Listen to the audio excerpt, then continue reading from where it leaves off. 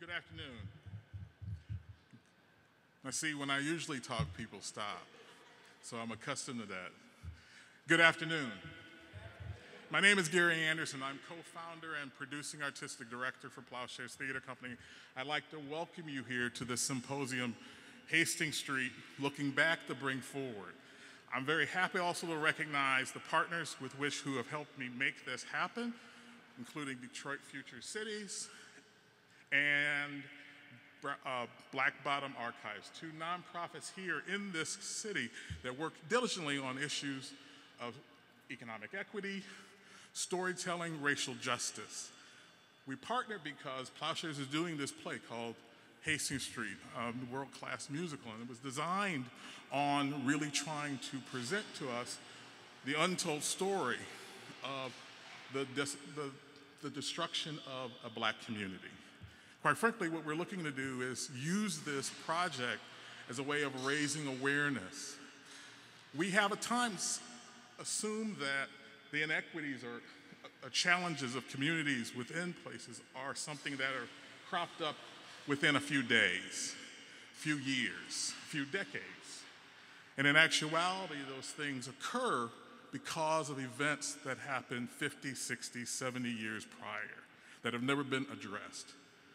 Issues of harm that need to be repaired. That is what reparations is about repairing past harms. It is part of the mission of equity. Equity is not just, equity is not equal, it is just and it's fair. And so today we're going to talk about looking at the, the, the destruction of that of Black Bottom and see how it has ramifications on the Detroit that we see today. And I'm very happy to announce the panelists that are here with us. Ken Coleman, who is a local historian and also a reporter for Michigan Advance. Come up see. We also have Executive Director PG Watkins from Black Bottom Archives, who will also come up here. Yeah. Um, Executive Vice President of Detroit Future Cities, Ashley Clark, who will be bringing data from their 21 economic equity report that they presented. We'll be talking a little bit more about both BBA and DFC in regards to activities they're going to have going forward, and we're encouraging you to participate. This is not just a forum where we will be bringing up people to speak about um, the events, but also trying to encourage you to get engaged in trying to address these repairs. And last but not least, I'd like to bring Chase Cantrell, who is Executive Director of Building Community Value. He will be talking about economic development currently as it sits in Detroit and how that impacts. So once again, I want to thank you for your, your attendance. Please come in, take a seat and I will give the podium over to Ken, Ken Coleman. Thank you.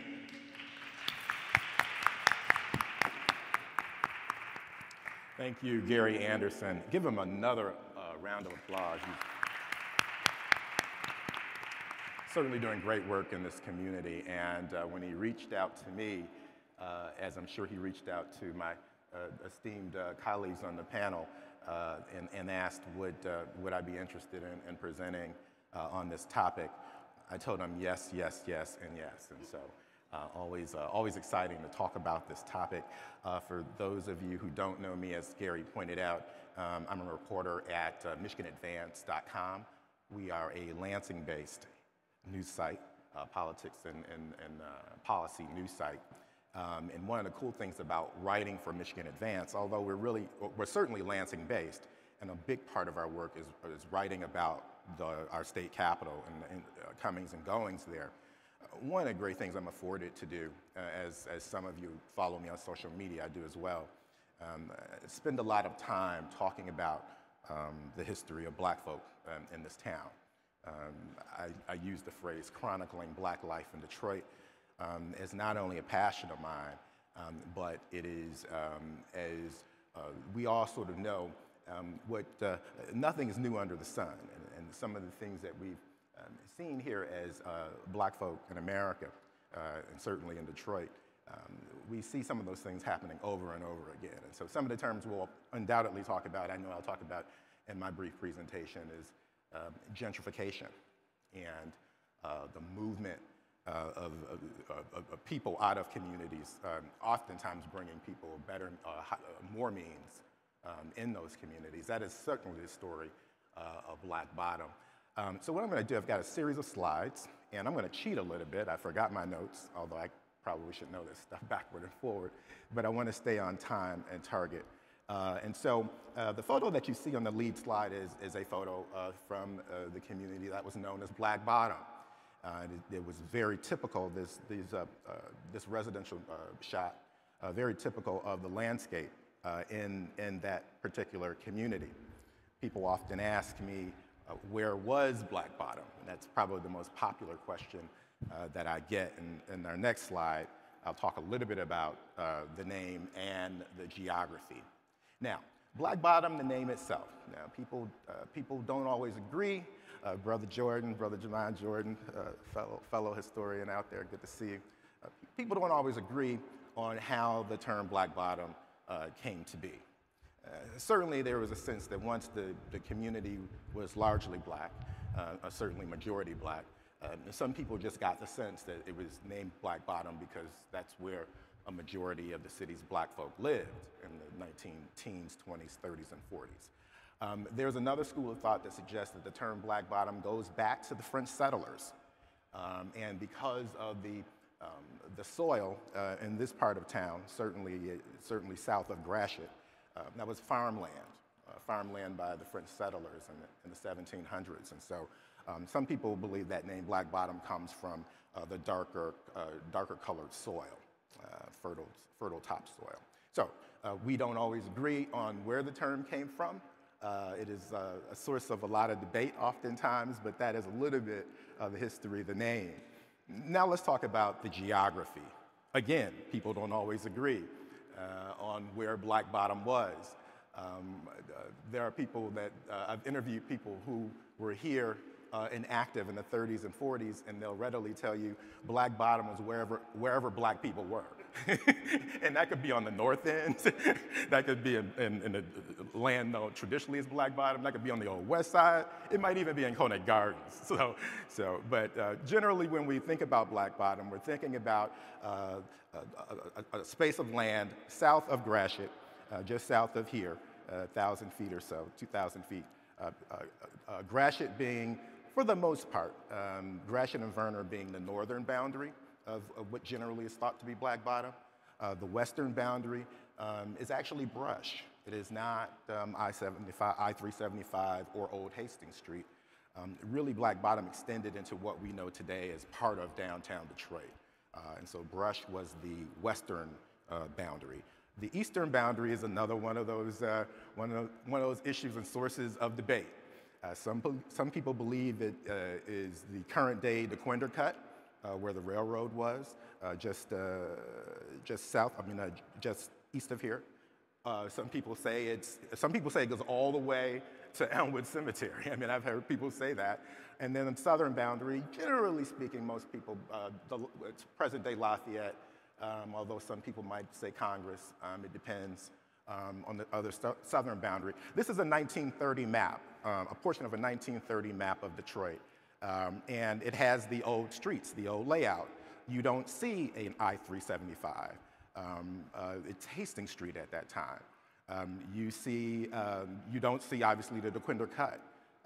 that, that did not exist. The railroad track all the way on the far uh, right side, the, the dotted, uh, dotted line there is the railroad track, uh, current day the Dequindre Cut. So when we talk about Black Bottom, that's the general um, geography that we're talking about. And when you think about north of Gratiot, um, that immediate area was the Paradise Valley area, uh, the, the, cultural and business um, hub of the city of the, of the city's black, uh, black community. We'll go to the next slide. Uh, this period photo um, gives you somewhat of a sense of what an African American family would have looked like in Detroit uh, in the 1920s.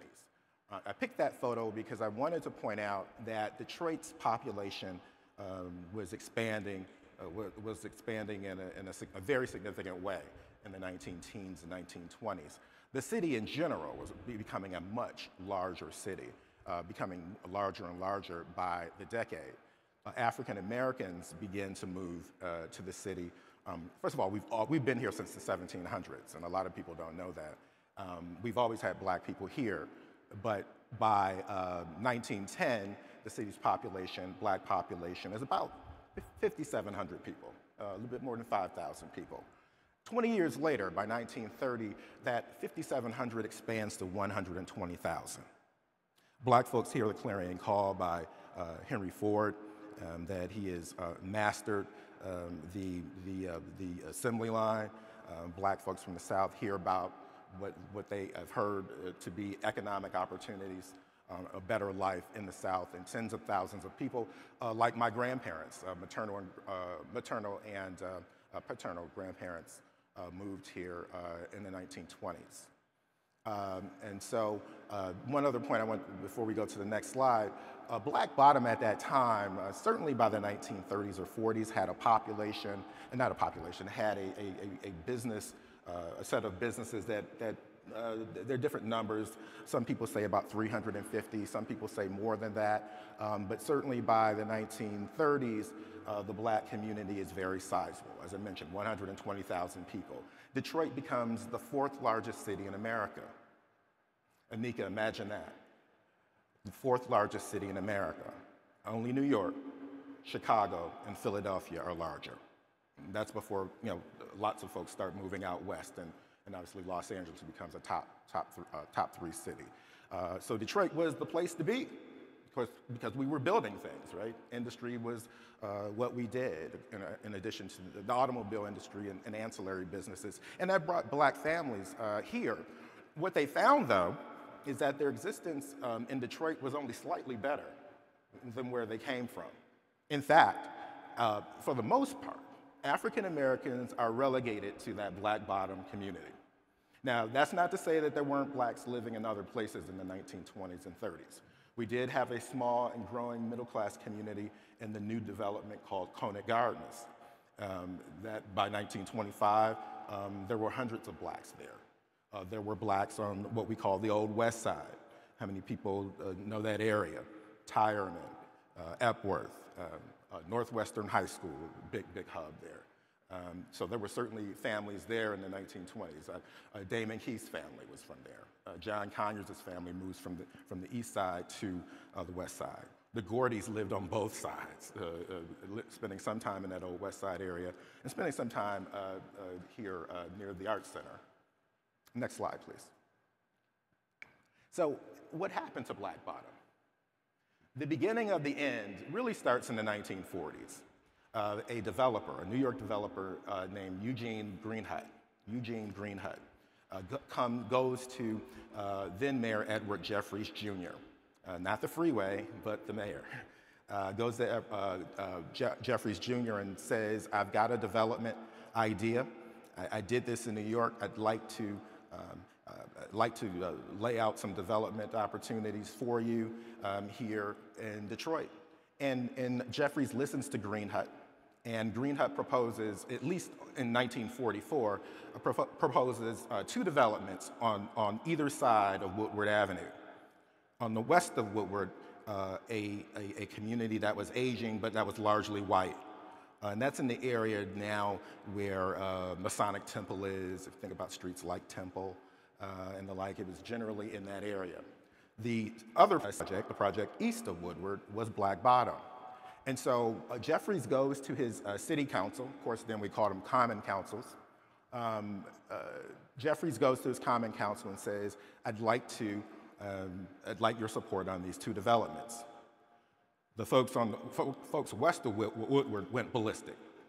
I mean, white folk, largely white folk, they, they, they went down to city council with placards, no, you're not doing this, and uh, Jeffries backs off.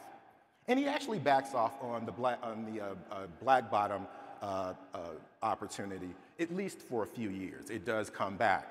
Uh, and so there's a lot of conversation about what Albert Cobo was and wasn't uh, the city's former mayor in the 1950s.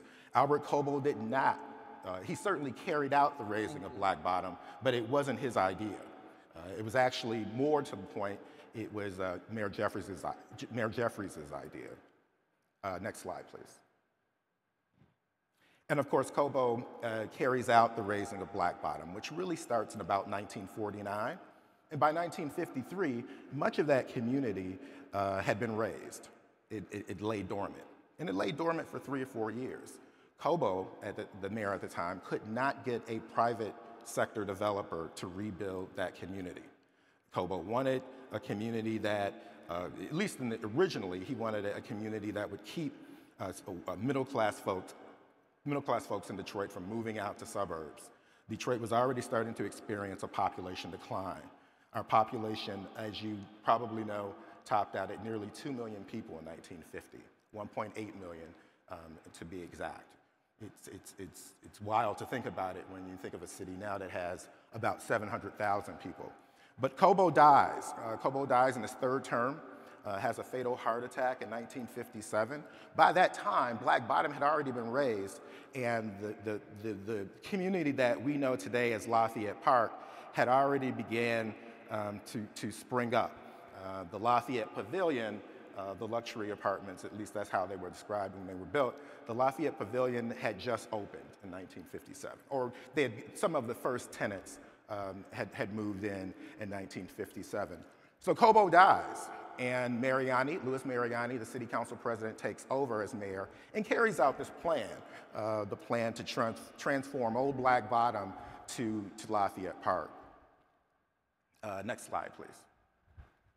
And so we began to hear terms um, uh, in, in, in the community uh, like condemnation, uh, er, uh, eminent domain, the phrase that became popular in the black community about what they were seeing uh, going on in Old Black Bottom. Uh, the phrase um, uh, urban renewal means Negro removal. One of the persons that was removed was Sadie, uh, Sadie Bell, Sadie, Dave, uh, Sadie uh, Bell Davis. Um, Miss Davis was a 75 year old black woman who was surviving on her late husband's pension.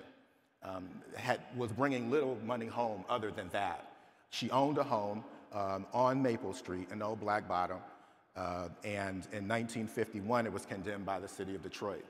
Now, the uh, city did not literally throw people out. They did make negotiate. They did negotiate with homeowners for a very modest uh, uh fee to to purchase the purchase the home. But for people like uh, Ms. Davis, 75 years old, had lived on Maple Street for decades, uh, wasn't didn't have a lot of income. The $2,500 that the city of Detroit offered her was, you know, it wasn't, a, it wasn't a small piece of change, all right? I mean, 1951 dollars, I mean, $2,500 is not a drop in the bucket, but it certainly wasn't enough necessarily for, for her to buy a home in Detroit. And Anika, again, you know that not only did we have um, the razing of Black Bottom, but there were few places where black people could live in Detroit.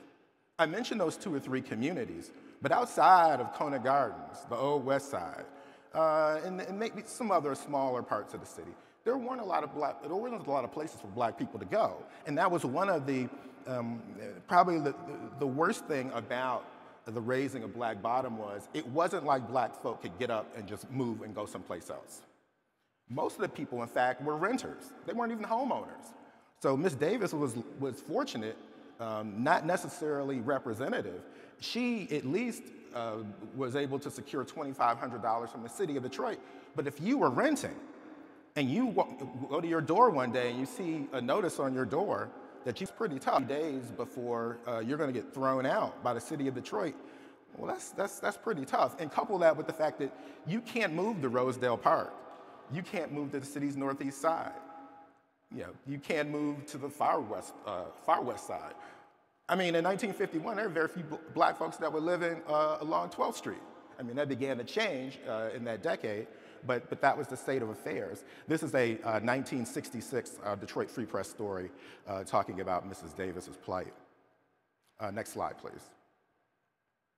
So, Lafayette Park begins in earnest, certainly in, by 1956. The, this slide kind of shows you some of the early building and development uh, the, the, the, noted Van der Rohe homes, uh, an aerial shot of, of uh, of the uh, Lafayette Park community and uh, the fact that it has become Lafayette Park uh, a historical landmark um, in, in, a site that we, uh, the nation has looked at as uh, certainly a, a, leader over the uh, innovator in terms of architecture. Um, Van der Rohe did homes all over the commercial and residential um, structures all over the country. and the, the, he is in the, the uh, Van der Rohe homes now, uh, some of the larger uh, some of the larger townhouses there are selling for six, seven hundred thousand dollars, um, close to that anyway, if not that. Some of the larger ones anyway. Uh, next slide, please. Some of the early residents of Lafayette Park. Um, there's certainly a notion that uh, that Black Bottom was all black and Lafayette Park, Lafayette Park was all white. Well, it's not necessarily so. Um, certainly, the 1970 census pointed out that three of every four people that lived in Lafayette Park were white, uh, but there were African Americans who lived uh, in, that, in that community. Uh, and some of, some of the more noted names are uh, Congressman Charles Diggs, uh, uh, Judge Wade, Wade McCree, the father, George Crockett had owned a, a, townhouse in the Van der Rohe homes, and even Berry Gordy. And some of his children actually spent some of their childhood uh, in, in Lafayette Park. Uh, McCree moves in, uh, probably is, was the earliest resident. McCree moved in in the, in the, in the uh, late 1950s uh, as, um, as, uh, as the Van der Rohe homes were beginning to come online. next slide, please. And so, it, it's also a misnomer that the building of, of I-375 destroyed Black Bottom. It's a misnomer because the reality is the freeway was really the last part of that development. The, the, the, the homes, the residential community, um, the, the, move, the Lafayette Park uh, uh, community was really uh, the, the early replacement of Black Bottom. But by 1959, uh, Mayor Julie, uh, Mayor Giuliani, Mayor, uh, Mayor Miriani, excuse me, uh, is at a, a, groundbreaking for the I-75 portion of the Chrysler Freeway. Uh, the first shot is an aerial shot. Actually, it's um, actually uh, looking Jefferson looking east. Um, that's uh, Jefferson at about a Brush, uh, looking east. And as you know, uh, I-375 really kind of starts at Beaubien, makes that quick uh, left turn, and heads up to up here to near near Gratiot. The photo on the right is a photo of Hastings Street. We don't know the year. Uh, Jemai, have you been able to figure that one out? I know you've seen that photo before. Yeah, I, I, we don't know the year, but we do have it documented as Hastings Street. Uh, and what you see is an, uh, several African Americans walking along uh, that Hastings Street community, which was really um, a, a, sort of main street uh, uh, business uh, thoroughfare, to be sure. Early 50s, yeah, yeah. But the groundbreaking starts on I-375 in January of 1959 takes about four, about four years, about five years to complete. Uh, next slide, please. Um, and so that was the sort of uh, end part of the, uh, of the uh, transformation from Black Bottom to Lafayette Park. Uh, just two more slides, Gary. This is a 1974 story. I, this, this is very important. And when I found this, I, knows I post it every year, and on July 29th, I'm going to post it again on, the, on the anniversary of this story. Um, it, it, it really sort of talks about the phrase that I mentioned earlier, urban renewal is Negro removal. Um, it actually, the headline is what's so telling about it, um, or the main sub, subheadline, Urban Renewal's First Fiasco.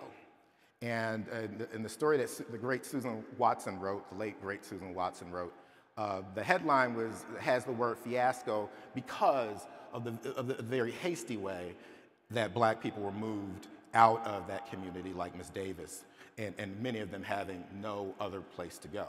Uh, this is in 1974, um, really admitting what should have uh, really been a clear understanding uh, some 20 years before that. Uh, final slide. This is the uh, uh, uh, headline on the Detroit Free Press, front page, Detroit Free Press, when uh, I-375 opened on June 26, 1964. And you can see how, it, I don't know if you can see very closely, but how different Detroit skyline looks um, uh, compared to today. Um, but this was thought to be a great day. uh, in Detroit history. Um, but what wasn't really told was the, the hundreds and probably thousands of, of, of, residents and businesses that were lost uh, in the name of urban renewal. I thank you for your time. I'm sorry I went a little bit over.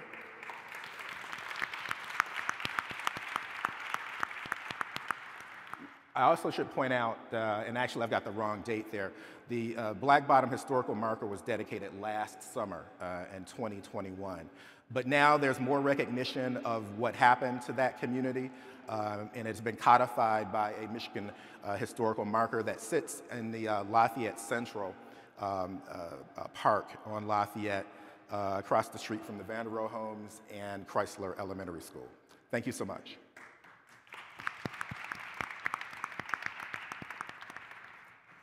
Sorry, I went long. Thank you, Ken. I appreciate that. Um, so he sets up his history. Now we're going to have PG Watkins talk about archiving and storytelling and how we can use it as a tool for racial justice.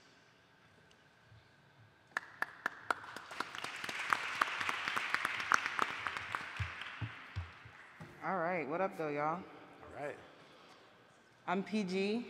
I use they, them pronouns. I'm the director and one of the co-founders I really didn't want to have to do this, but it sounds kind of wonky, huh? Mm-hmm. Um, I'm, one, I'm the director and one of the co-founders of Black Bottom Archives, which is a digital media platform dedicated to preserving the stories of Black Detroit in order to think about our current context and self-determine a different type of future. So um, I wanted to talk today I usually would spend some time setting up the history of Black Bottom, but Ken just did that very beautifully, so I'm not going to spend a lot of time there.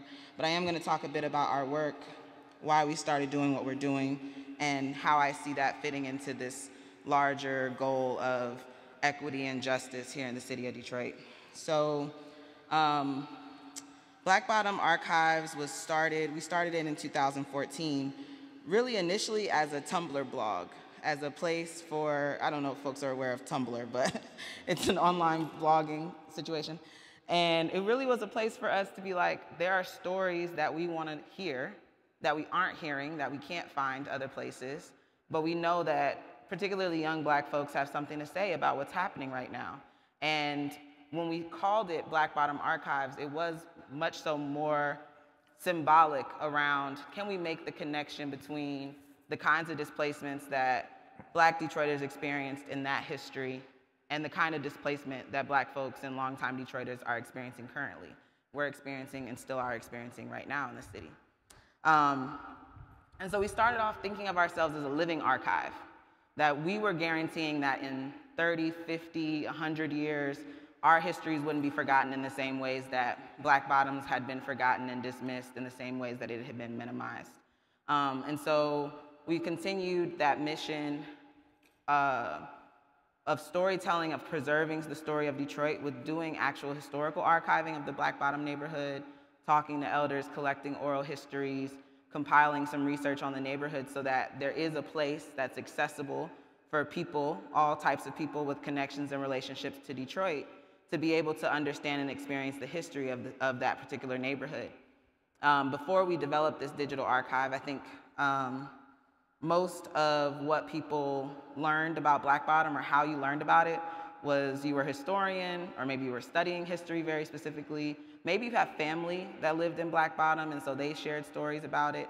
But otherwise, it wasn't a mainstream idea. It wasn't like a mainstream story that was told here in the city. Um, it wasn't something that I learned about in Detroit Public Schools in middle school or high school right? I learned about it in college when I was studying African American Studies at Wayne State. And, and my family also, ooh, I forgot I had that mic on, y'all. I'm sorry. Um, my family moved to the city of Detroit. Um, I have family that moved to Detroit and to Pontiac uh, both before and during the Great Migration, but my parents moved here in 1980 for work. So similar story of moving here from the South, uh, but a lot later than Black Bottom. So I don't have that personal connection. And the, the person who co-founded uh, Black Bottom Archives with me is a multi-generational Detroiter who has a direct connection to, uh, to Black Bottom and really wanted to make sure that we continue to amplify that particular history. Um, so we can just kind of breeze through these next couple of slides because they were kind of the history setup stuff. We know that Detroit, ex Detroit's experience, as Ken laid out with displacement and gentrification and erasure, are like a lot of other major cities in, in the country, right? Actually, there were a lot of other black bottoms that existed across the country. Um, and because it wasn't something that people knew about or readily talked about, for us, it was this idea, the same concept of this particular symposium, um, looking back to look forward, right? This idea of Sankofa, which I actually have one of my tattoos on my wrist is a Sankofa symbol, which is a West African symbol around how we honor our history because it's what ensures we can move forward, right? And so we see our work in that trajectory. So yeah, you can just go through the next couple slides real quick and you can land me after that one. This is just a little bit, I guess I'll just stop here just briefly to say, um, I think other folks will talk about it a bit later, but currently they are talking, they are developing this uh, project trying to make I-375 a more walkable boulevard.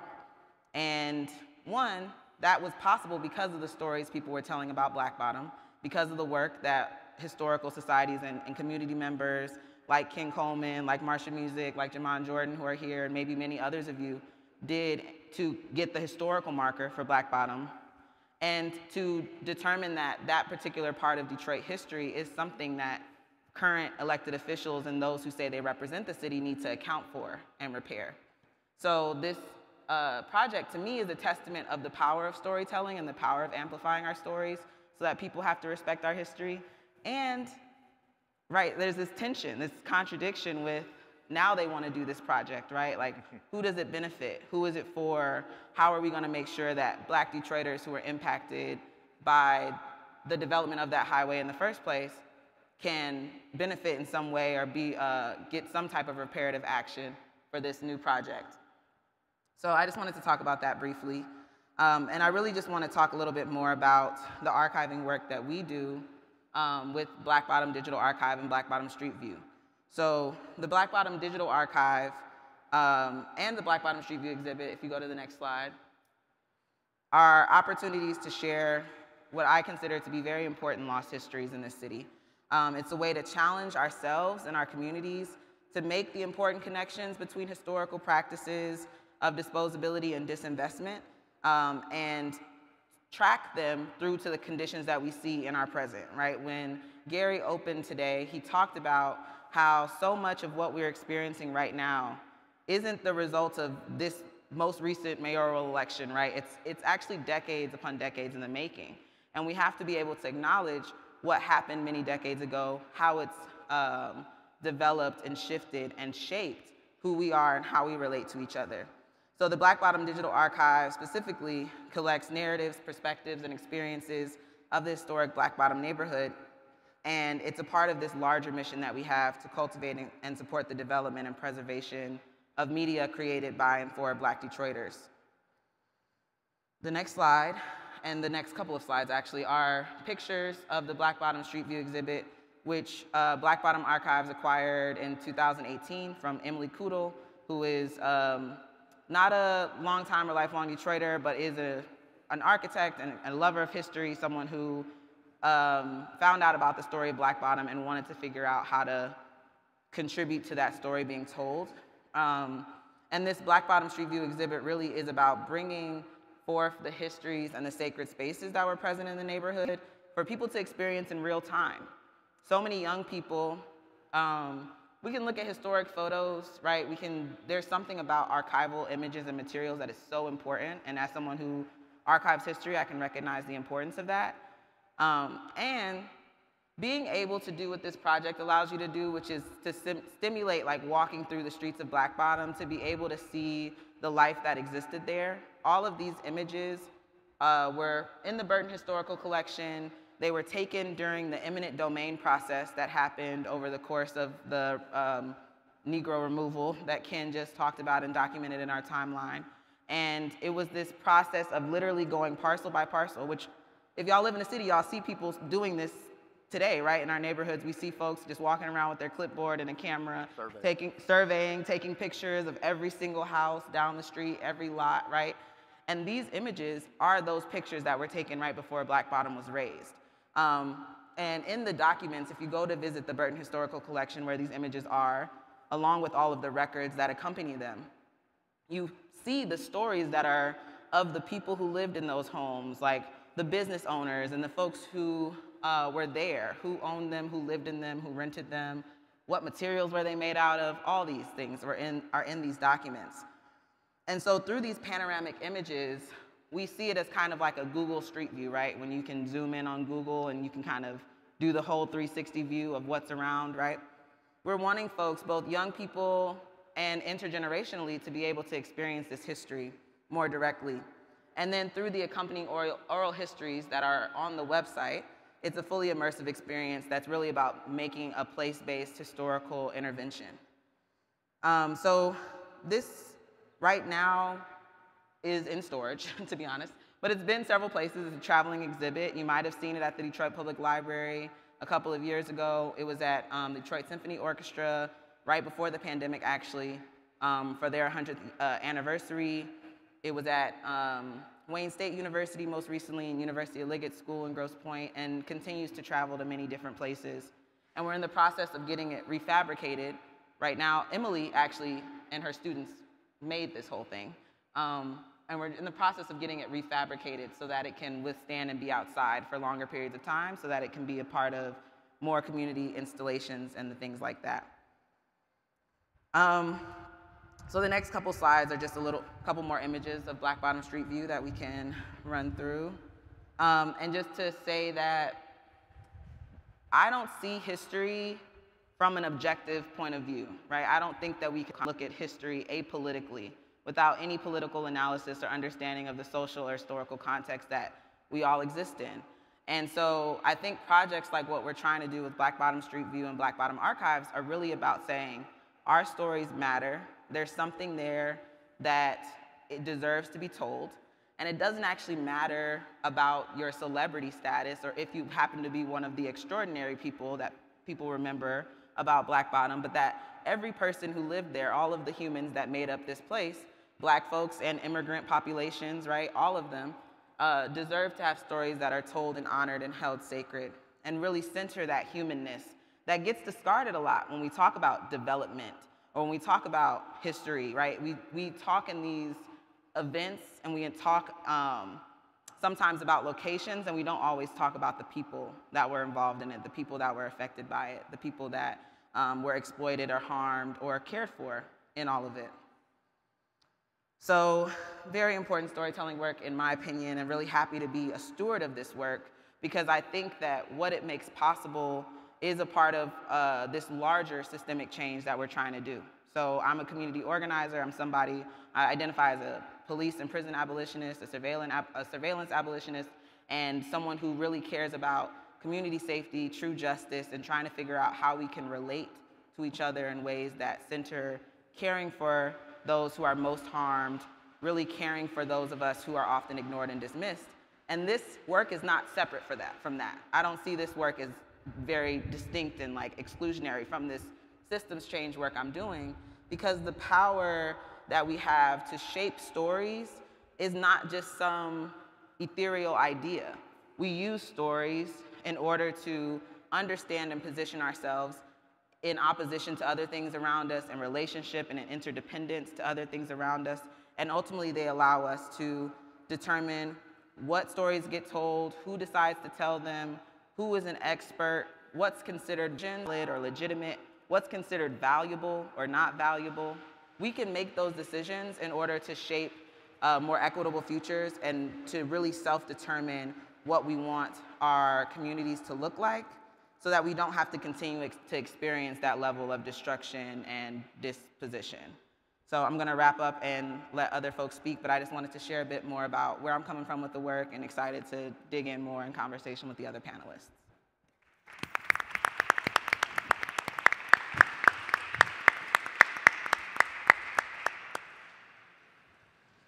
Thank you, PG. Now we're going to have some data related to the events and cur current circumstances in Detroit by Ashley Clark, Vice President of uh, Detroit Future Cities.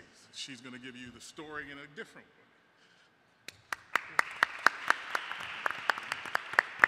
Can you guys hear me through my mask? Okay, I'm losing my voice, so bear with me, everyone. Um, so thank you so much, Gary, for this conversation. And I'm going to call our city historian in the front who has a shirt that says, knowledge of history isn't a luxury, it's a necessity. And so when I talk about data, and I might be a self-professed data nerd, but data alone does not have power. But data combined with history, combined with stories, combined with people who are doing actionable things, can be powerful in leading change. And so at Detroit Future City, one of the places that we've been working on is around this concept of economic equity. And last year we put out a report that looked at what is the state of economic equity in Detroit. So I'm going to share some of that context with you all about where we are today, context that many of you who live in Detroit are experiencing. So Detroit Future City went through about a year-long process of really looking at what is economic equity. I'm sure if we were to go around to every single person in this room, you might have a different belief about what economic equity means to you and in your context. So we heard from over 500 people.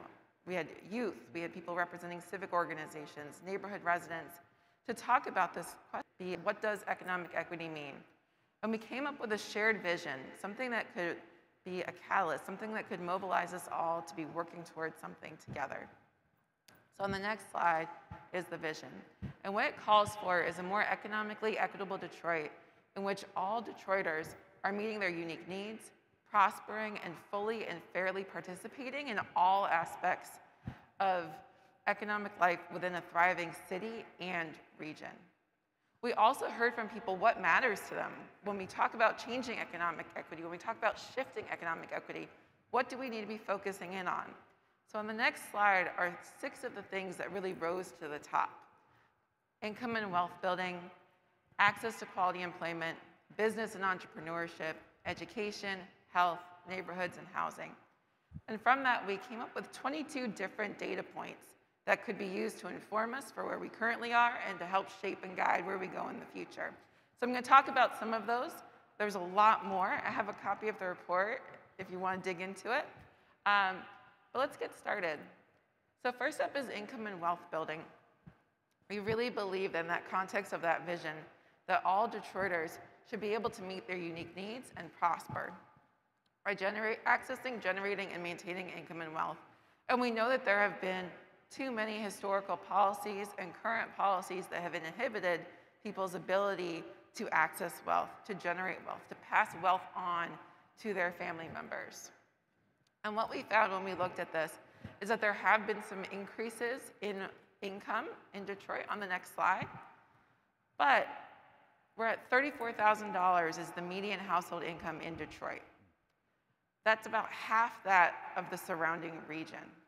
So we know that we need to be looking at how do we increase incomes for people.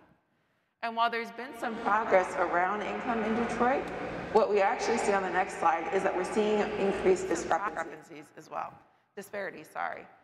So the blue line on this chart, the top line, you'll see that starting in 2017, we start to see a growing disparity of people by racial and ethnic identity, where we see higher incomes for white people who live in Detroit compared to lower incomes of black and Hispanic or Latinx households.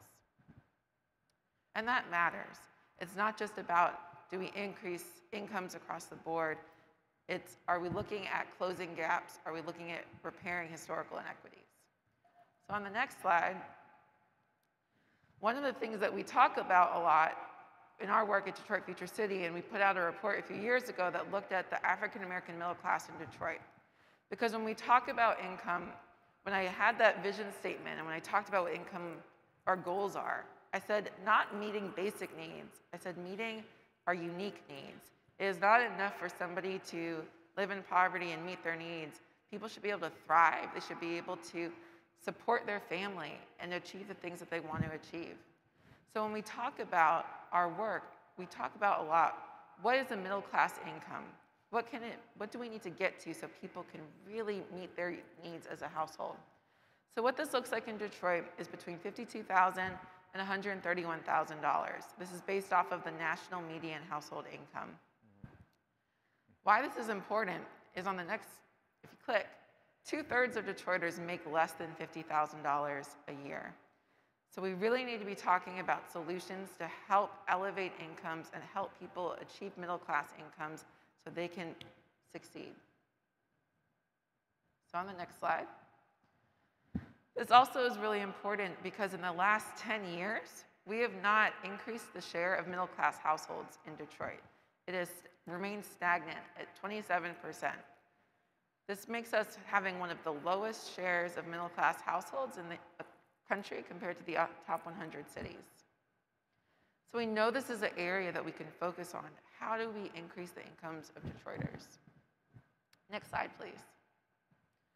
Now, this slide is showing cost burden. So a lot of times when we talk about incomes and we talk about housing, we look at this measure of how much is the household spending on their income or on their, um, their housing. And we say that a household shouldn't be spending more than 30% of their household income on housing related expenses. And what we find in Detroit, that while there are certainly challenges around housing affordability and housing quality, one of the biggest drivers of housing cost burden in Detroit is income. So if you were to increase incomes, if you look at the bars, it's hard to see, but $50,000, once you hit households earning $50,000 or more, housing cost burden significantly increases. So if we address income issues, we're also addressing affordability challenges. Not to say that we don't also need to address affordability on the housing stock side as well. Next slide. So how do we get there? What are some of the things that factor into this? Education is key. We believe that in a more economically equitable Detroit, our educational system would be preparing people adequately for the workforce. But what we find in Detroit on the next slide is that having a degree matters.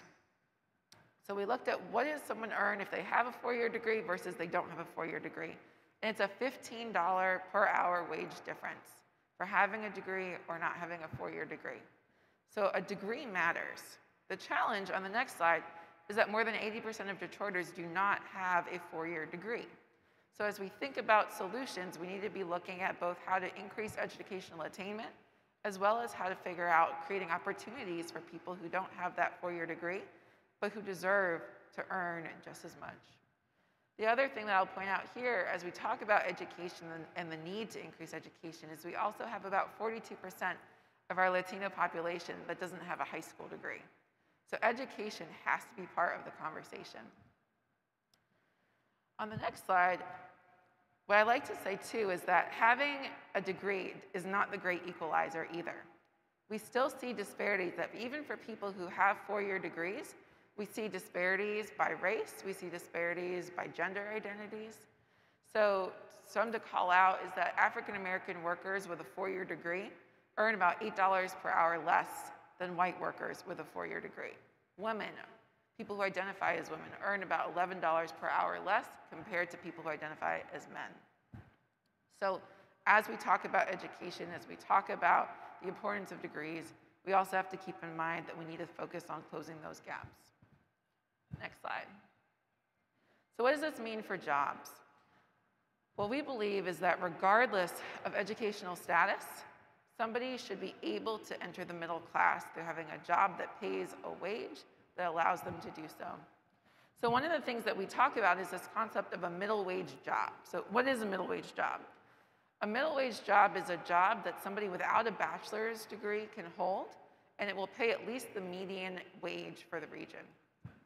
And what we found in Detroit on the next slide is that we're seeing an increase in the share of low wage, sorry, of um, low wage but accessible jobs. So that are, those are jobs that somebody without a four-year degree can have, but it's not going to allow them to enter the middle class. It's a low wage job.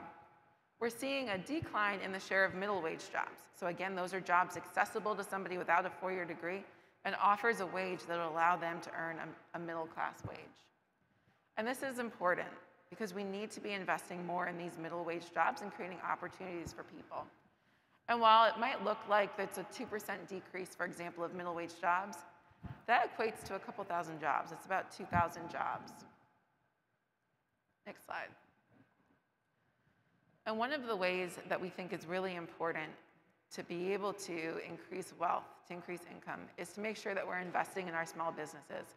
And so when we talk about Black Bottom, Hastings Street, an entire commercial corridor that was wiped out, opportunities for people to transfer wealth to future generations through businesses. We know that if we invest in our minority owned businesses, we will be able to transform our economy. But these businesses need increased supports and access to capital. Because what we have in Detroit on the next slide is a situation where Detroit has one of the lowest entrepreneurship rates in the country and significantly lower compared to the rest of Michigan and the region. Detroit needs to be a place where someone who wants to start a business and succeed in having a business can thrive. Next slide. So the last piece I'm going to talk about is neighborhoods. We're here to talk about Black Bottom, which was a neighborhood. Um, and when we talk about neighborhoods, we want to make sure that we're creating places where people can thrive. Um, and so we need to be investing in strong and vibrant neighborhoods. But on the next slide, what I'll show you is in the pink, those are what used to be middle class neighborhoods. We looked at data from 2010 to 2019 and we said, where are the middle class neighborhoods in Detroit? And where have we gained? Where have we lost? Where is there stability? The purple are the neighborhoods that were stable. They were middle class in 2010, they were middle class in 2019. The pink ones are the neighborhoods that are no longer considered middle class. And on the next slide, the blue, those are the areas that are now middle class. And you'll notice that those are predominantly downtown. And a lot of that is due to higher income development that is not necessarily built for Detroiters. It's predominantly occupied by higher income white households. So we need to be focusing on, on strategies for helping to maintain neighborhoods as middle class, bring middle class, bring neighborhoods that are close to being middle class up, and really strengthen and invest in these neighborhoods. We need to be creating places where people can thrive. Next slide, please. Where this also comes into play is when we talk about specifically our African American or our, our black middle class households. You know, it's imperative that we are looking at strategies to grow and retain our black middle class. And what we found is that in the region, white middle class households are more likely to reside in a middle class neighborhood compared to African American middle class households. And in fact, if we look at our black middle class households across the region, more than 50% of them don't live in Detroit. The challenge is, is when people become middle class, they leave. So we need to be able to identify policy solutions and opportunities to grow people into the middle class and make sure that we're creating neighborhoods that people want to stay in once they enter the middle class. Next slide, please. We also found that Detroit is now a majority renter city. Um, this change happened a couple several years ago, but Detroit used to be a beacon for black homeownership. We now have a homeownership rate of about 48% compared to 70% in the region. And this matters because homeownership is a key way in this country still to generate wealth and generational wealth. Um, and what we found in some recent work, um, and Chase is going to go much more in depth about this, is that there are challenges around accessing homeownership in Detroit. My colleague, Kimberly Faison, leads up our work around um, community economic development and our housing compact, which is diving into this very specifically.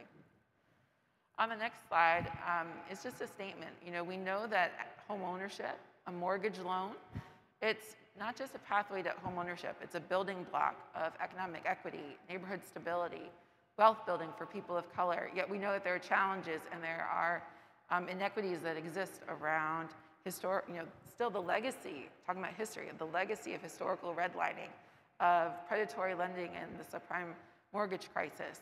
We know there are current inequities in policies that exist that are influencing people's ability to access home ownership, disparities in home appraisals, and access to credit, or even the role that credit plays. And so we need to be thinking about solutions related to housing and homeownership as well, which I know Chase is going to be talking a lot about from a development perspective.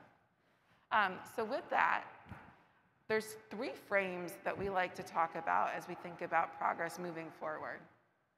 And so on the next slide, those three frames are as we think about policy, as we think about solutions, as we think about this through a variety of ways, there's one approach is are we seeing equal improvements? Is everyone improving at the same rate? All right, everybody's going up. That's wonderful. But is it just? Are we closing gaps? It's not just enough for everybody to improve, we need to be closing gaps. The last one, though, and that's a word that you have heard several times today, is progress reparative. Are we accounting for historical injustices and are we making sure that we are closing those gaps in a way that offset those historical inequities? So with that, I will say thank you so much. Um, on the next slide, we have a call to action of sorts. Because as we embark on this work and as we do this work, the whole purpose in us coming up with this shared vision of economic equity is because this is not work that happens in isolation. It happens through storytelling. It happens through acknowledging our history. It happens through advocacy. It happens through philanthropy, community organizations, everyday residents. Um, and so this is just our call to action to work collectively on this topic of economic equity. And if you'd like to learn more on the next slide, we have a, um, if you go to Detroit Future Cities website, we have a dashboard that includes all of this information and more that I've talked about today if you want to dive into the data. Um, also, if you want to snag me, I can write down your information and I can get you a free copy of our report if you'd like to dig deeper and have it as a resource. So, thank you all so much.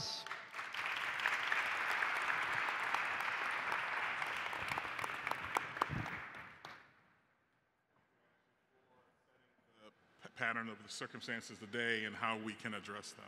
I'm, I will be advocating for you again to take her up on her offer to connect with the Detroit Future Cities.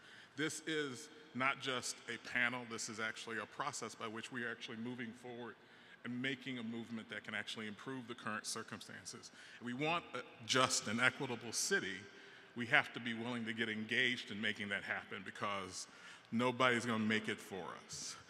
Last but not least, I want to talk about somebody who actually is trying to make it happen. Chase Cantrell, who's Executive Director of Building Community Value. He's a current developer, and he will be talk, giving you a, a, perspective on economic development in Detroit and of projects that he is also involved in.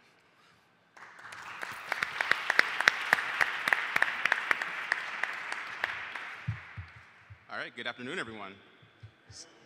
So it's so wonderful to see so many familiar faces and so many people who are also doing amazing work in the city. So I'm glad you all came out on a Thursday afternoon to join us to talk about this. Um, I'm going to be looking at uh, economic development in the city of Detroit, but really from the built environment lens. So we're going to be talking about real estate um, and sort of mirroring what happened in Black Bottom and what's happening in Detroit right now. So next slide.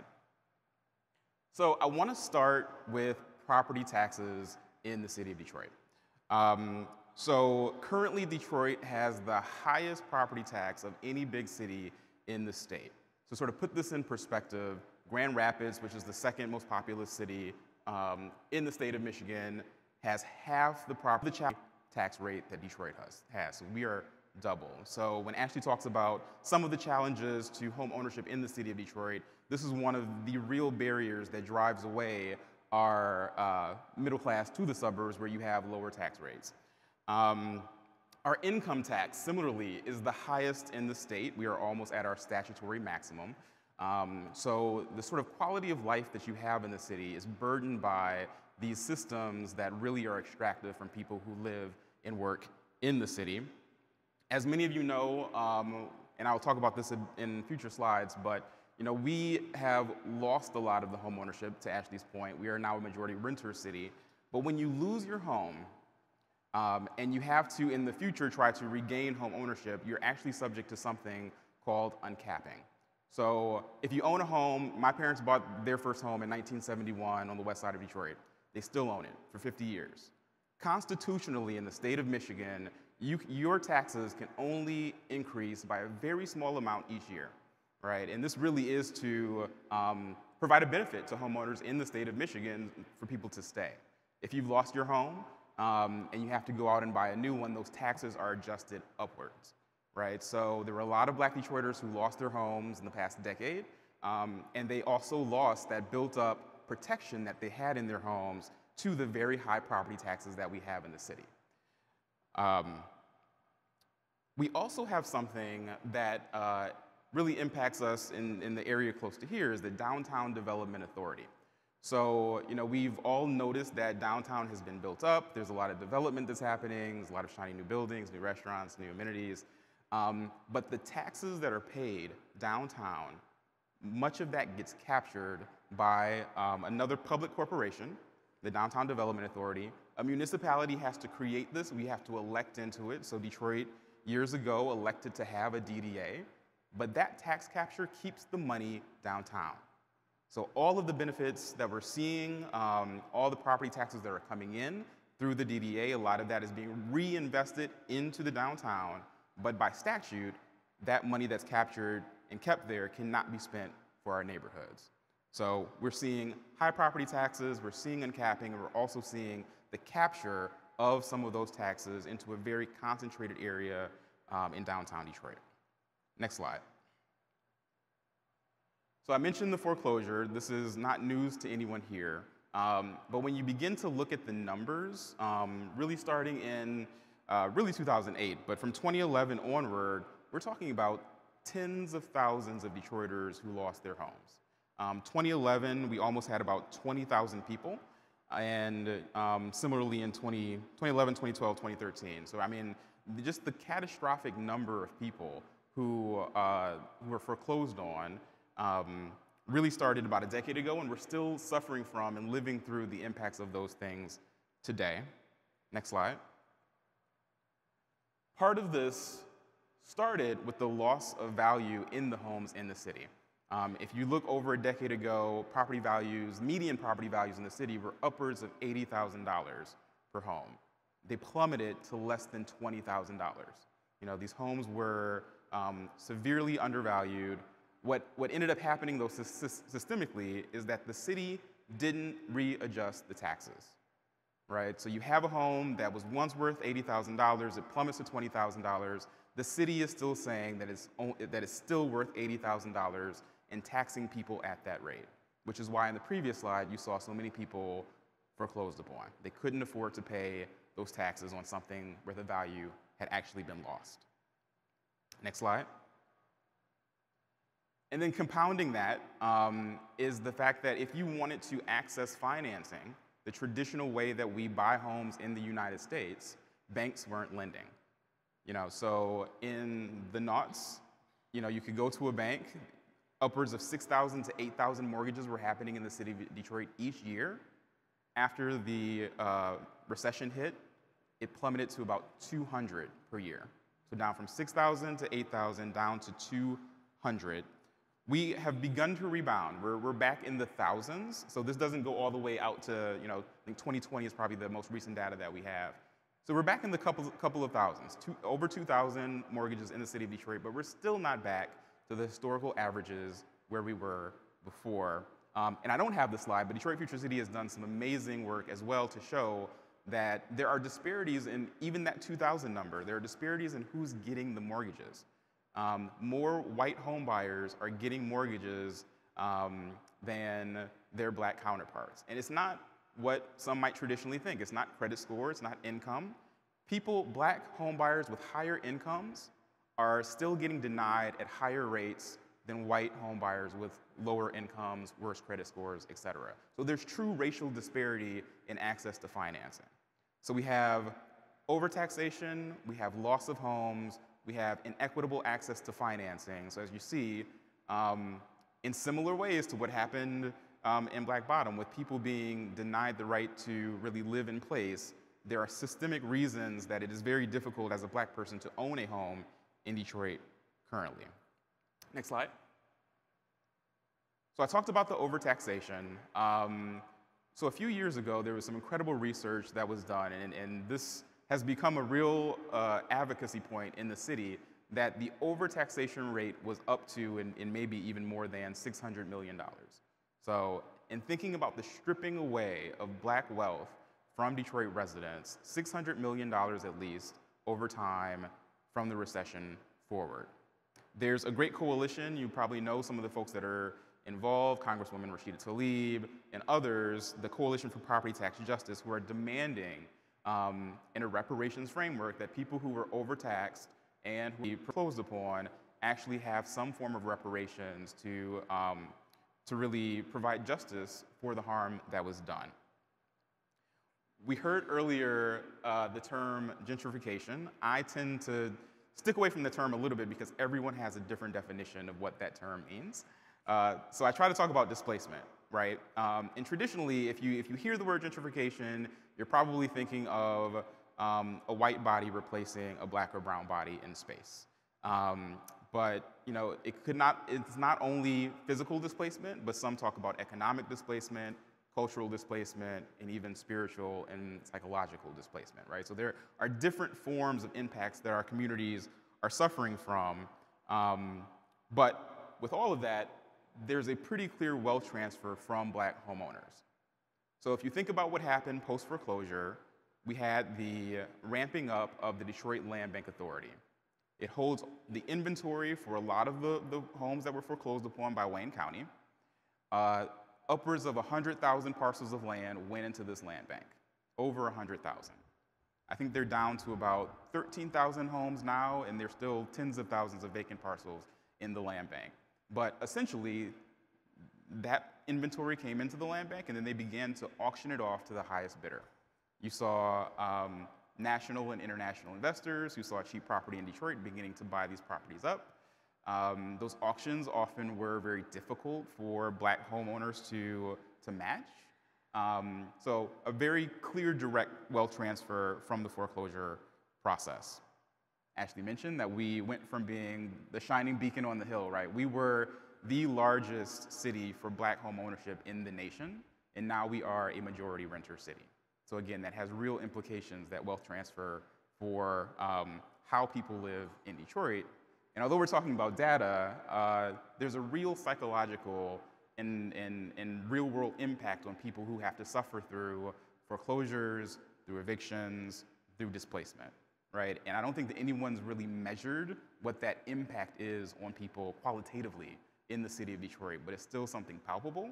It's affected not just the people who experienced it, but people in their families as well. There are clear ripple effects for all of the things that we see in the data. Next slide. So, since we have such a high tax rate in the city, and the median income is only $34,000, as Ashley said, it's half of the um, area median income for surrounding communities, we, we have to have subsidies in place to make sure that people can stay in place. So it took some time to get some of these, but we do have something called HOPE, the Home Ownership Property Exemption. So if you are a low-income resident, you're able to, um, with a lot of paperwork and process, you're able to access a tax exemption so that you don't have to pay those high property taxes. But it's, it's a similar challenge for developers and entrepreneurs as well. So I think a lot of people have seen recently in the press that Dan Gilbert's Bedrock part of the, the Rock Venture family of companies, wanted a $60 million tax abatement. They wanted to not have to pay taxes up to $60 million on their new Hudson development. But if you look around the city, so if you look at neighborhood level development, you also see that almost every project has a tax abatement in it. It is very difficult, again, because of the high tax rate, to actually make these numbers work in community without the tax abatements. And we keep focusing on the subsidy without actually focusing on the fact that we have one of the highest tax rates, not only in the state, but in the nation, right? Like we're looking for the band-aid, which is the tax abatement, and not the actual fix, which is lowering our property tax rates. Sorry. So similarly, um, other subsidies, I talked about the Downtown Development uh, Authority, but the city of Detroit, the state of Michigan, um, and the federal government, to make these developments work, there's so much subsidy that goes into projects because essentially um, the market value, the market doesn't see the value in the properties here in Detroit in the same way that you would see in other communities. Um, even, even thinking about the, the Mies van der Rohe homes in Lafayette Park, right? At the highest going for $600,000, $700,000, those same homes would go for millions in other communities, right? So even our, even our best homes are undervalued by the market. The same happens in terms of commercial development as well. So you can buy a property, you can put millions of dollars into it, but the market will say it's not worth the actual construction cost. So, I mean, I'm living through this right now. So, I mean, Gary mentioned that I do development work, put $3 million into a project, through financing, not my own money, but go to a lender, get enough money to do a construction project, the market will immediately say, post-development, it is not worth the three million that we put into it. The only way that works is if there's governmental subsidy to fill the gap. But if that has to happen at every single level, almost every single project, there's not enough subsidy to build the kind of city that we want to see built. So there becomes the question by government, by developers, by community members, like what can we actually build and what can we save? And that's a very political question. Um, a lot of the dollars, again, get directed towards downtown. There are, a, there are strategic neighborhoods that been, have been named throughout the city where there's been concentrated investment into those neighborhoods. But again, with limited subsidy, uh, governmental actors have to make decisions. Next slide. So my small contribution to this is that there are so many Detroiters who have a vision for what their neighborhoods should be, right? So there's so much land in the land, land bank. Every Detroiter has looked at a commercial property or a house across the street and said, I wish this could be, and fill in the blank, right? There's no, there's no deficit of innovation and thoughts and vision in our communities. About six years ago, I started an organization called Building Community Value that teaches Detroiters how to do real estate development in neighborhoods. And all of, all of the things that we've talked about, right? The lack of access to capital, the governmental interventions, the subsidies, these are all things that are still barriers to black developers in the city. But um, there have been 350 students who have gone through the program, and they've gone back out, many of them, and actually have done mostly small rehab, so one to four unit rehab, small commercial. We have another program that Capital Impact Partners, a local financial institution, has for, for black developers. Think of my courses like the uh, undergrad course at the university and Capital Impact being the graduate level course. So they're looking for folks to do $5 million or more projects, so the larger projects. And at the same time, um, because we know that there's inequitable access to these resources, both to financing and subsidy, uh, a group of black developers have created an advocacy organization called the Real Estate Association of Developers, called READ. So really to be able to, to go to the mayor, to be able to go to city council and power, the powers that be to say, hey, this is what uh, our vision is for the community and these are the kinds of resources that we need to actually make our visions come to life. But the necessity for that uh, actually came out of government. So our, the former uh, group executive of infrastructure, Arthur Jemison, before he left the city, gathered together about 40 black developers and said, hey, the white developers are talking to the mayor directly. You all should do something about this. Do you, do you want to create a formal group? Do you want to have a biweekly meeting with me? Do you want some avenue to get to the mayor directly because other developers are talking to him? So even he, as a black man, understood that something isn't equitable in the system and we have to create new structures to actually make this work for us. Next slide. So, talking about Black Bottom, this is a current photo of I-375. Um, so this process of you know, repaving I-375, creating a boulevard, um, will never right the wrong. It will never undo the injustice that was done. Um, but this process started, I know it's, it's been in the press fairly recently, but it started in 2014, right? So in 2014, MDOT, City of Detroit, National Highway Administration began thinking of alternatives to I-375. It took them about three years to develop those alternatives.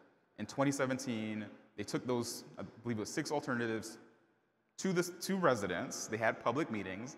Uh, I don't know what the attendance at those public meetings were, but they started in 2017 um, to come down essentially to one alternative. So that's really what we're talking about now. Um, if you go on their website, though, you'll see that really what they're talking about is just that. It's the creation of a boulevard, a four-lane four boulevard. Um, they quote that there's excess land that may be available, but they don't talk about what will happen to that excess land. That process hasn't really begun quite yet. So there's a danger, um, and I hope that more people will begin thinking about this and speaking about it. There's a danger that that excess land, if we're thinking about writing, you know, how we respond to history, that vacant land probably should be for black Detroiters, black developers, places that we can actually build and inhabit in space. This project, however, um, won't get under, underway, the actual construction, until 2027. So we still have a long ways to go before they actually break ground on anything substantive. So next slide. All right, so why does all of this matter? So one, um, my good friend Lauren Hood, who leads the Institute of Afro-Urbanism, talks about uh, the nature of black thriving in Detroit. She's trying to understand, in, in, in a similar way to, to what PJ do, PG does, um, the, sort of the qualitative stories and the things that actually allow for black people to thrive in the city. And she has three, three working definitions right now. It's audacity, it's agency, and abundance. Um, and I think what we're all talking about is not just how do black people survive in the city, which a lot of us are, just surviving, but how do we actually build a city where black residents can thrive? And I think that's truly the goal. Um, and what I do in terms of actual ownership and control over the built environment, I really think that agency and self-determination are truly important, right? It's not just about giving input. It's not just about um, driving a process that someone else is leading. It's, it's actually about owning and leading the process and owning the actual land and space.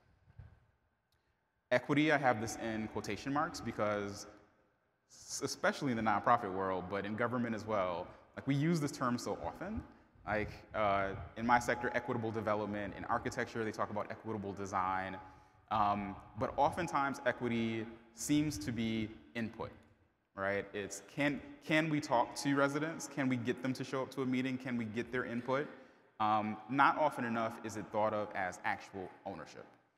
So, you know, we've, we've, ownership has been stripped away not only during the Black Bottom period, but currently it is still happening. How do we get to a place where equity truly does mean, in the sense that you would use it in the corporate setting, in the business setting, ownership, right? You think, if you think of a stock owner in a large corporation, they have ownership, they have direction, they have information flow. It's more than just being involved in input, it's actually leading the process.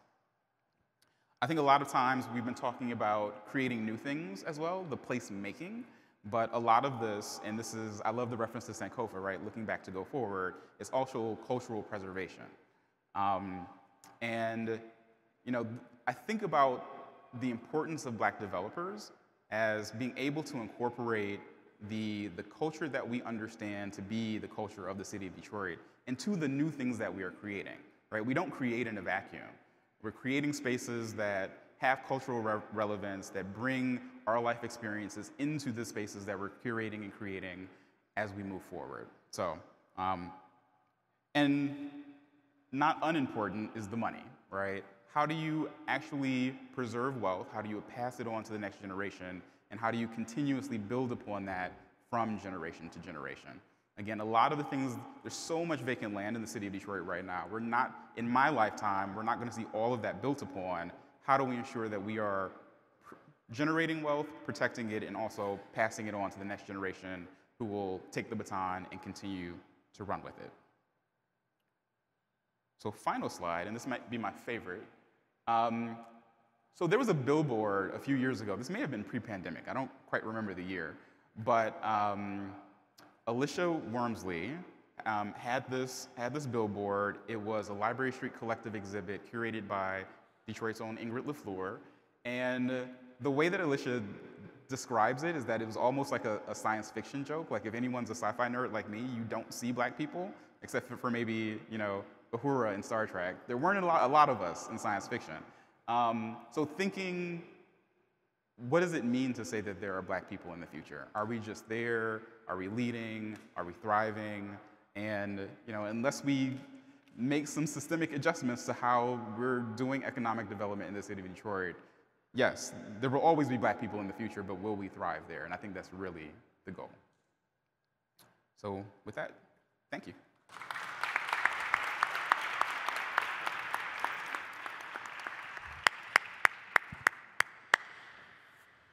Thank you, thank you, Chase, for bringing it home on, for us. Um, we have a few minutes left.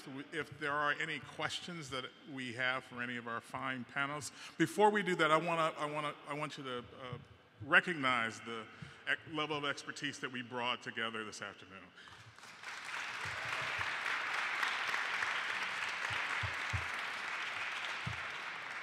Now, does anybody have a question? Yes, sir.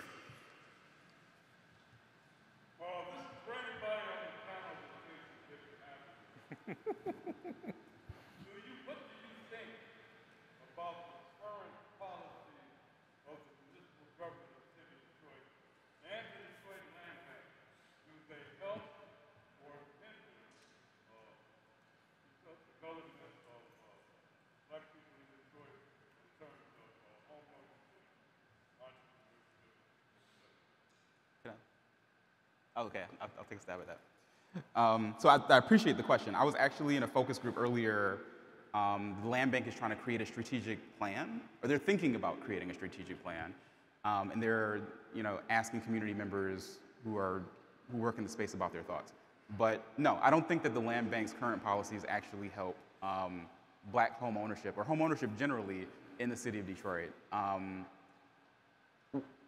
it's interesting. The, the current executive director, uh, when she was interim, she actually said in the Free Press, and in my opinion, she said the quiet part loud. She said that um, the land bank doesn't have enough capital to maintain the pro their properties, you know, tens of thousands of properties that they have, and that their goal is to try to get them off the books as quickly as possible. Right? There's a speed component and there's a cost component.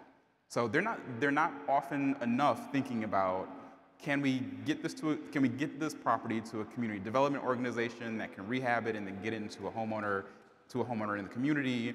Can we get proper financing so that someone can rehab the house and take ownership over it? Their goal, and this is the auction process, is to is to get it out of their stock. Doesn't mean that th their policies can't change over time, but as currently written, they don't truly serve the home ownership um, goal. Okay. Yes, sir, you in the back? You're going to have to speak loud, sir.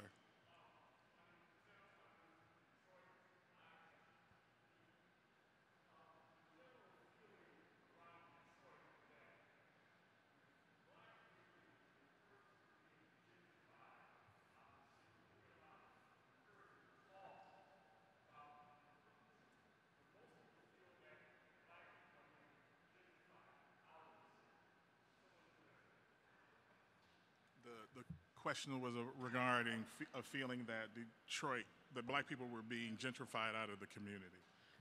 I, I think it's true in, in, certain sections of Detroit.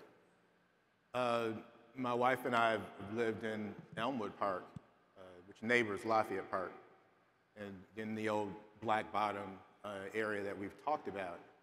Um, it's becoming whiter and whiter each, each, each, uh, each month, uh, uh, to be sure. Now, from a historical standpoint, we have to acknowledge what some of us have talked about earlier. I mean, a lot of the black middle class started leaving this town 40 years ago.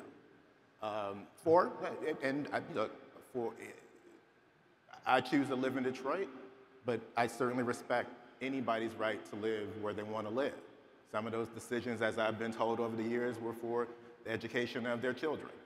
Uh, some of it was for, for um, reduced uh, uh, taxes. So a lot of the income tax and the other taxes that, we, that we've talked about. So I, look, I mean, I think it's, it's clear um, that there are certain sections of, the, uh, of this town that are being, and I, I Chase, I mean, I, I like the, the, the, traditional definition of gentrification. I mean, I know it's more complicated than that, but generally speaking, at least in the history of this town, what it has meant is poor black people being displaced for middle class or upper middle class white folks. That's clearly what happened in Lafayette Park, and to some extent, that's what you're seeing in Lafayette Park all over again. Um, but you know, there never. I, have learned in my years that there are no absolutes, and so the narrative um, that there's a citywide effort to move black people out, I, I don't think is true. I do, I do think it's true in certain neighborhoods.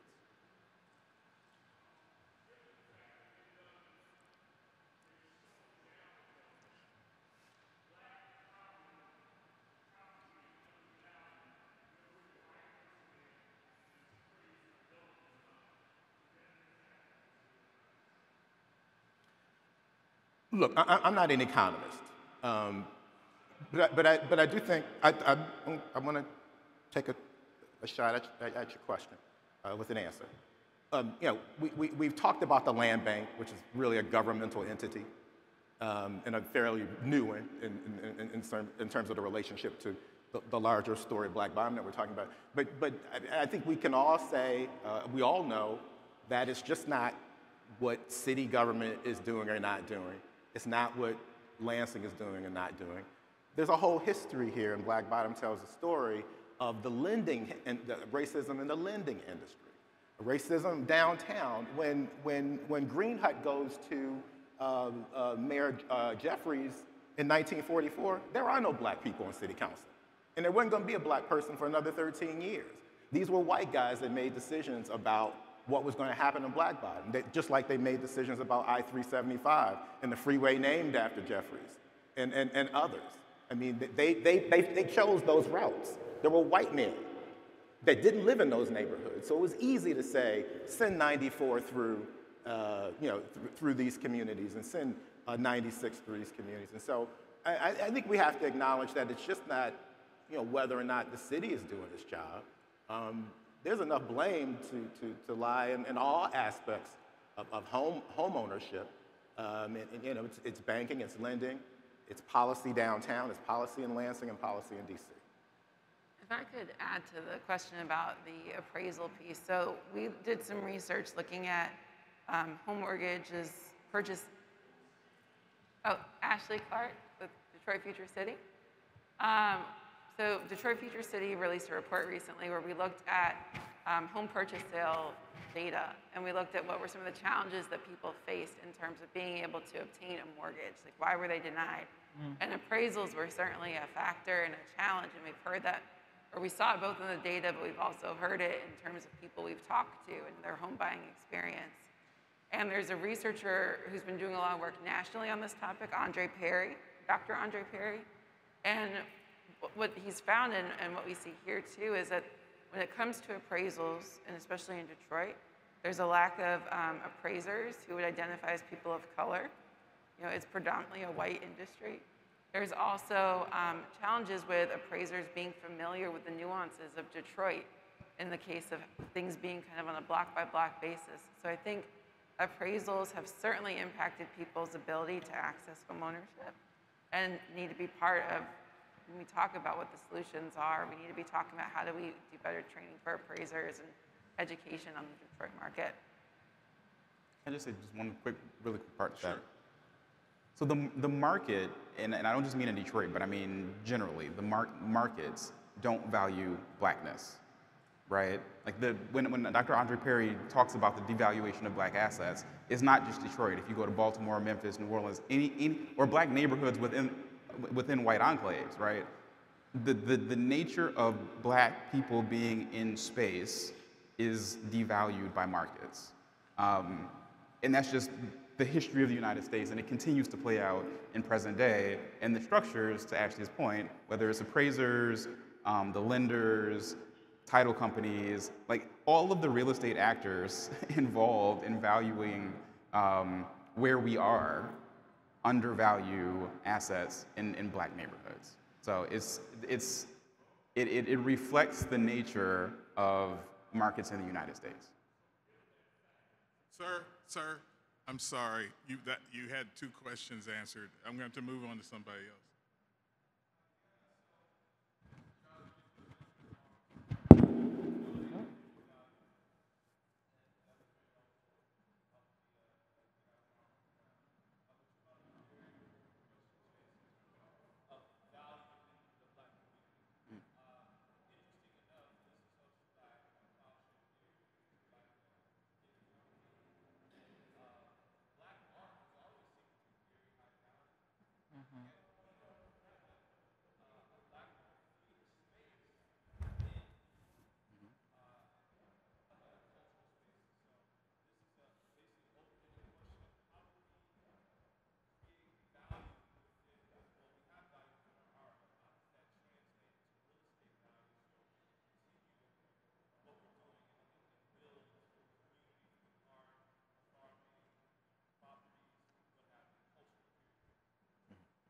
Do you want to see that? Sure. he is not a plan. That's what you call a softball. You're going to hit it off the park. So, so one of the things that we think is critically important is that since a black city has the need for its culture to be reflected through its institutions, that there ought to be institutions reflecting and supported and led by black people running those. Uh, uh, thank you, John, for that, for that question. Part of the mission of Plowshares has been to create its own artistic home so that we could be a beacon for artistic activity. We have, we're very rich, not only in the fertile soil, but we're very rich in regards to the cultural community that we have here. A number of our we just to talk about Black Bottom, it was the home to a number of artists who went on to create great art. We had educators, a Nobel Peace Prize winner that came out of that community, Ralph Bunche, Della Reese, along with politicians that not only shaped policy here in Detroit, but in the state, and in some cases in the entire nation and the world. That's what is potential in the Detroit of the future, but you need institutions to help continue to reflect that. The stories that PG talked about have to be presented in a informative and entertaining way, and that requires institutions. And one of the things that we're desperately fighting for is to get a, our home so that we can be a place that hones local talent, that attracts talent from around the country who wants to be here because of the unique energy that it is in our arts community and use ourselves as a catalyst for economic development, much like what Chase said. Um, we don't always look at the arts as something that's integral to how we move things forward, but they are. They are. Just think about the last two years being closeted in your home and not being able to go to a concert, not being able to sit next to somebody and listen to somebody tell you a story in a dark room, not be able to experience what live performance is. We know we were hurting, right? That came because we weren't able to come together. Plowshares have taken on a mission, and we've embodied ourselves in a principle called Harambee, all pulled together.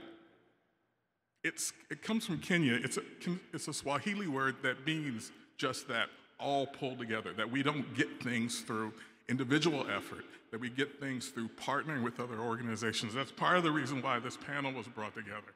We want to be part of that group that helps move these initiatives of economic equity together. So I think that may have answered your question, but we're, but we're in a mission to move things forward, and so that's, that's why we're doing this. I actually have something else to add to that, too. I think there's a lot of what becomes more possible when we don't try to only rely on the systems and the government, right, and, and these large institutions, but think about how do we create our own, how do we build our own foundations and institutions that can self-sustain when we talk about self-determination.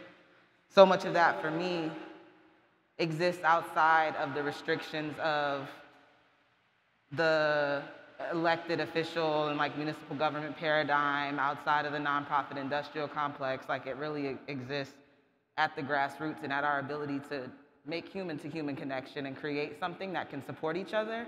And so I think so much of what I experience about black arts and culture in Detroit outside of what institutions or the city or whoever might deem as valuable is that we are always creating something. There's not a black owned theater space, but that doesn't mean black theater doesn't happen here, right? It doesn't mean that black folks aren't creating spaces for us to share and create and to perform and to present and to amplify particular stories we want to tell. So I think part of why we started the archive that we have is because we can't just rely on institutions to do the work of assigning a value to us or preserving something we want them to preserve. We have to be in that practice ourselves. And we've got a history of that, right? As we all know, we'll, a lot of us will be at the uh, African World Festival this weekend. I mean, Dr. Charles Wright in 1965 started an institution mm-hmm. that, that, collected black artifacts and black art. And some of you who were around, who were around at the time know that he's, it was a traveling exhibit before it was, yeah. uh, in, uh, uh, uh, at, at, one time, the largest African American museum uh, i- i- in the world. And so, uh, from a historical perspective, we've got a history of creating institutions, and I, I just always remind us of that when we, when we know there's more work to be done. Okay. This one last question, ma'am, yes? Oh, Okay, okay, sure, sure, sure, sure.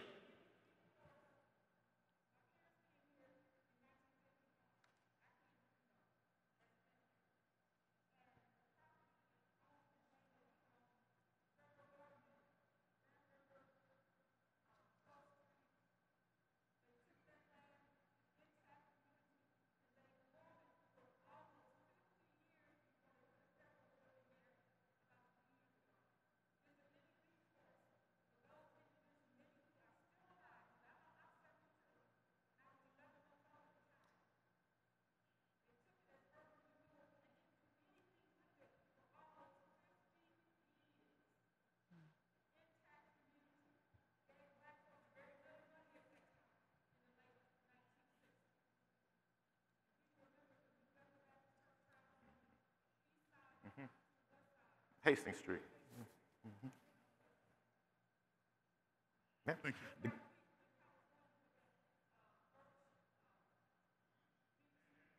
oh yeah, the Black Beach there. The Gotham Hotel was condemned in 1963, and it's still vacant. Uh, There's some movement on there, but it's, it's a piece of land. Marsha, you, you had a question?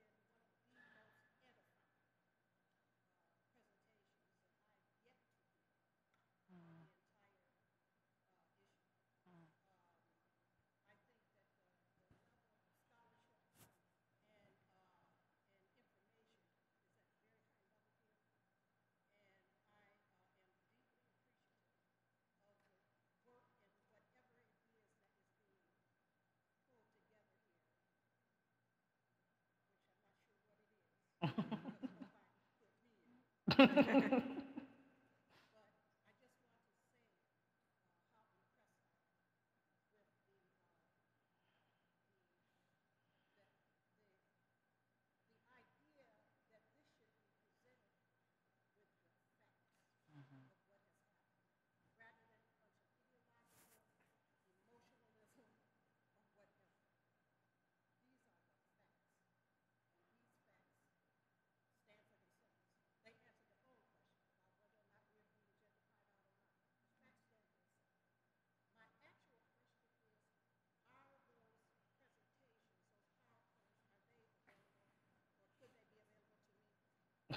Yeah, they'll, they'll be made available. We've also recorded this, and the video will be made available as soon as we get done editing it together. No, thank you, thank, you. and take, um, I apologize. Take my apology as, as an act of my heart, of my head, and not my heart. Thank you. But we were trying to pull together a panel that was bringing that high level of information that you request, the focus specifically in key specific areas where we're looking at addressing it. Thank you.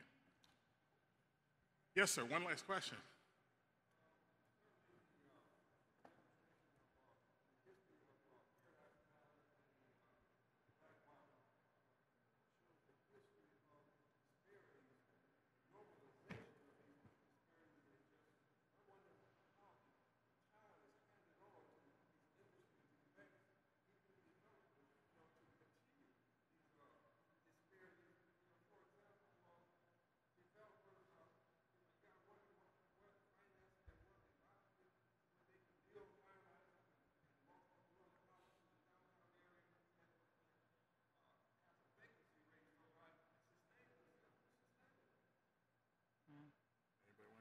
Well, I will say that there is a renewed interest in learning more about not only Black Bottom, but Paradise Valley. Um, in the corporate community. I think a lot of us have been fortunate enough, Jamon and I know Marsha, uh, we, are fortunate, I think, to get calls all the time to do presentations, uh, and, and, some of them are from corporate folk. I mean, I think there are a lot of younger, there are, there are a lot of younger people um, who want to know. But I know what you're saying. There needs to be not just uh, having Marsha speak at, a, at an event, um, but you know, what are you doing to invest uh, in black communities? Uh, somebody needs to invest in, uh, in, in, in Gary Anderson's uh, vision, right? And, and, that, and, my, and my view is, and my view is that should be, it should be wherever he wants it. But if, if, if I-375 and Hastings Street, the old Hastings Street is being reimagined, I mean, I think that's, that's a grand space for uh, the headquarters of Plowshare Theater, if that's where Gary wants to be. But that's got to be a relationship oftentimes between a lender, uh, like, like a banking community, or the banking community, and uh, partnering with uh, Gary to make that happen. And I think if there's some to-dos here, and I think this is where Gary's going, we have to make that noise. We have to make that demand, right? We have to say what we want and, and, and be willing to fight, fight for it.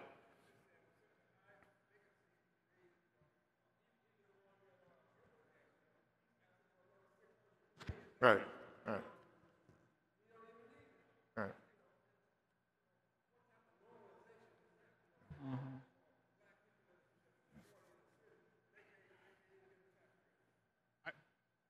Thank you, thank you very much, and I agree with you. We understand that. Um, it, the time is sh short, and in fact, we're close to when we were supposed to be shutting down. So I, I, I want to take a moment.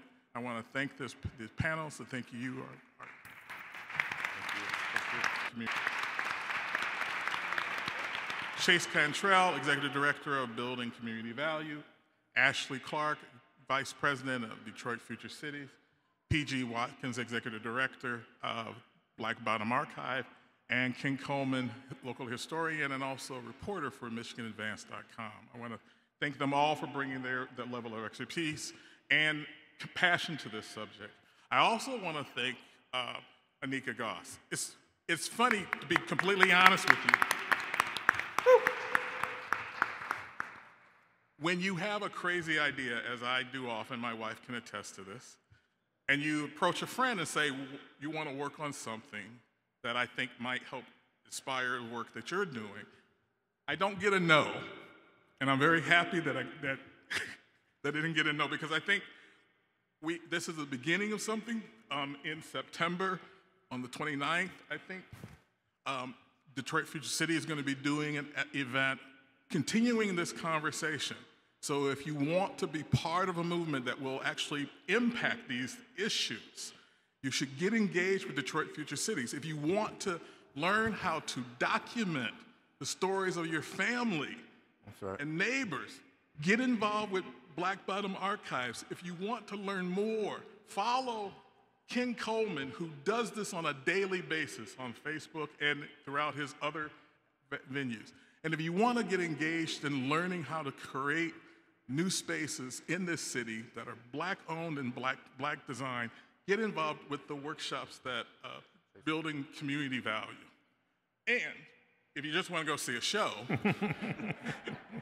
I'm very fortunate I have a show coming up next week called Hastings Street. It's a world premiere musical. I don't know how that worked out.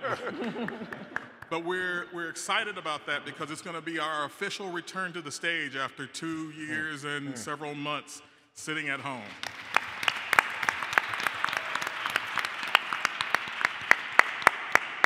So again, I want to thank you all for coming out, um, and, I, and I encourage you, continue to be engaged in this work. This is the work for the next generation. This is the work that we do to build the city we want to see. Thank you.